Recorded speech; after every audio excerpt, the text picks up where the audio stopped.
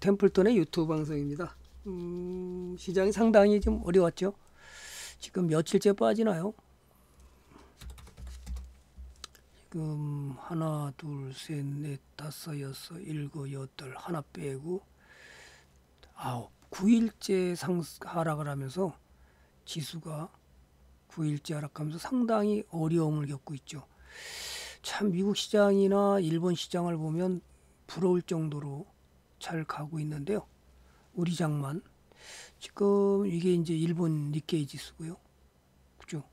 또 미국은 뭐 미국대로 상당히 많이 가고 있어서 참 다우존스도 신고가를 냈다가 조정했는데 우리는 떨어지기만 하고 있어서 그죠? 1월 달에 들어와서 보시면 음, 해외 차트는 1월 달에 상승을 많이 1월 달에 음, 여기는 12월 달에 올라가고서 쟁보를 하고 있는데 11월, 12월 음, 일본 같은 경우에는 1월 달에 폭등장으로 가고 있죠. 우리만 거꾸로 가고 있다. 우리는 거꾸로 가고 있습니다. 1월 달 내내 거의 떨어져서 상당히 힘들고 60일선을 지지하고 있느냐가 또 중요할 가능성이 높고요. 음. 그 다음에 이제 또 하나가 지금 뭐 이런 얘기 나오죠. 뭐 중동 리스크에 의해서 김정은이가 헛소리라면서 자꾸만 뭐 대북 안보 불안, 총선을 겨냥한 대북 안보 불안을 또 야기하는 것 같아요. 그래서 뭐, 뭐 헌법에서 뭐 남 북한을 두 국가로 만들어서 남북을 뭐 통일하겠다 뭐 0.0001mm만 해도 침범을 하면 뭐 핵무장으로 뭐 어떻게 하겠다 이런 식으로 그 그죠? 총선용 그 대남 강경 발언 그죠? 침략 발언. 내부가 얼마나 지금 골마 터졌으면 저런 식으로 얘기하나. 우리가 박정희 시대에 살면서 무슨 얘기를 하냐면 거의 간첩 때려잡은 얘기를 수도 없이 해서 국민을 갖다가 불안감을 조성했는데 지금 북한이 그러고 있습니다. 북한이 남한에 대해서 남한은 잘 살고 북한은 지금 굉장히 체제적으로 불안하기 때문에 또 경제적으로 불안해서 먹고 살기 힘들고 체제 불안 때문에 계속해서 남한에 대해서 뭐 침투 오니까 강경 발언을 더 쏟아내는 게 아닌가 이렇게 지금 보여지는데 그거를 두려워해서 주식을 팔고 주식이 떨어지고 이렇다면 좀 이제는 그 정도에선 벗어나야 되지 않나. 다만 또 하나가 우리나라 어, 대기업들의 실적이 생각보다 부진하기 때문에 미국과 달리 우리나라는 실적이 부진하기 때문에 이런 것이 또 영향을 받았지 않았나. 근데 코스닥 기업은 의외로 괜찮은데요. 음, 코스닥 기업은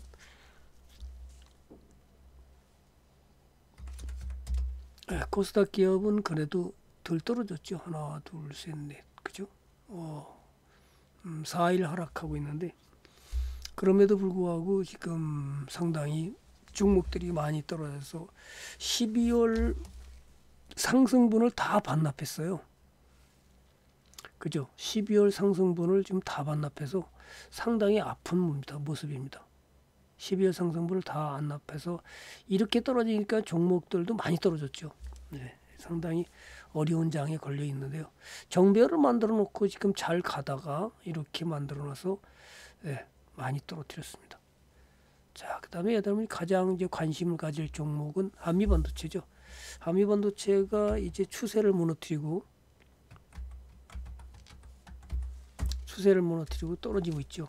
자, 그래서 일부 차에 실어난 사람도 있을 거고 그 다음에 또 반 다 전부 손절한 저기 익절한 사람도 있을 건데요. 어쨌든 좀 아쉽죠. 그런데 오늘 한미반도체에서 발표한 것은 200억의 자사주를 매입 들어가겠다. 이렇게 발표를 했어요. 200억 자사주 매입. 한번 공시정보를 볼까요? 어, 200억의 자사주 매입을 들어가는 그런 뉴스가 나왔는데요.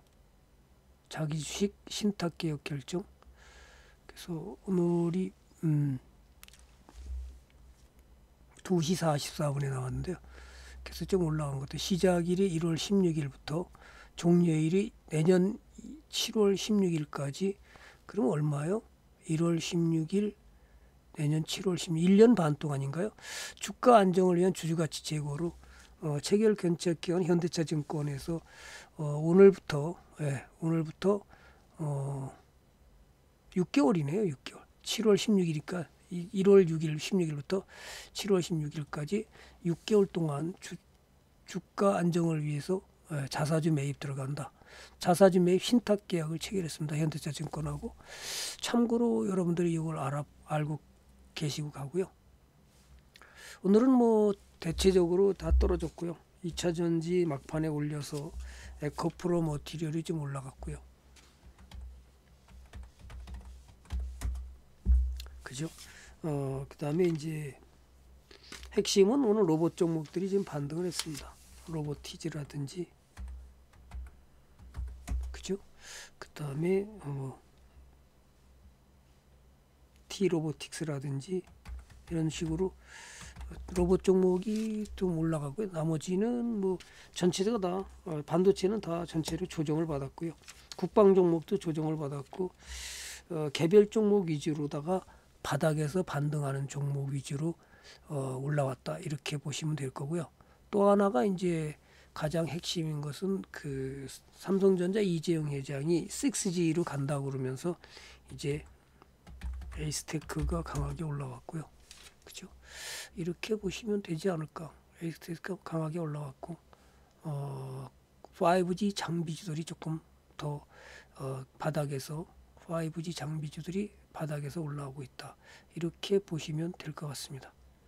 여러분이 잘 들고 가시고 어떤 것을 들고 가야 될지 그렇다고 해서 지금 시장이 조정받았다고 해서 다 팔고 어뭐 그죠 일거 현금 확보하고 있는 사람들은 괜찮지만 현금 확보가 안 돼 있는 사람들하고 무조건 다 팔아서 현금 확보한다고 그런 것은 뭐 좋지 않습니다. 그래서 지금은 중동도 아직까지 그 미국이 오늘 그 선박도 그 미사일 공격 미 저 자 뭐죠 그 어, 개인 기업들의 그 뭐죠 선박을 갖다가 어 공격 미사일 공격을 받았다고 그러는데요.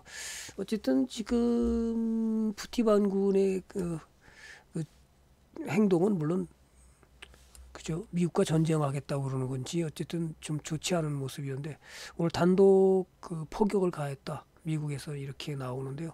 상당히 좀 에, 이런 것은 다 증시의 그 불안 요소긴 한데 뭐 그거보다도 우리나라 시장에 대한 것은 아마 그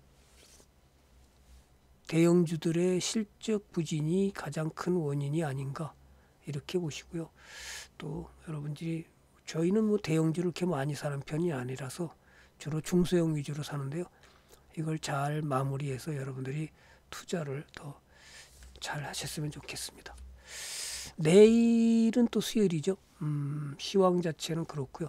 내일은 또 수요일인데 음, 좀 쉬었고요. 그 다음에 목요일 날 무료 방송에 여러분들을 또 뵙겠습니다. 짧게나마 여러분들이 어, 좋은 주식 투자로 수익 내는데 뭔가 조금이라도 도움이 된다면 그런 마음으로 오늘도 어, 유튜브를 열었습니다. 여러분들이 힘내시고 이럴 때일수록 그죠 새롭게 등장하는 종목들을 매수해서 수익을 커가는 그런 전략을 잘 짜시기 바랍니다. 오늘 여기까지 하겠습니다. 감사합니다. 좋아요와 구독은 사랑입니다. 감사합니다.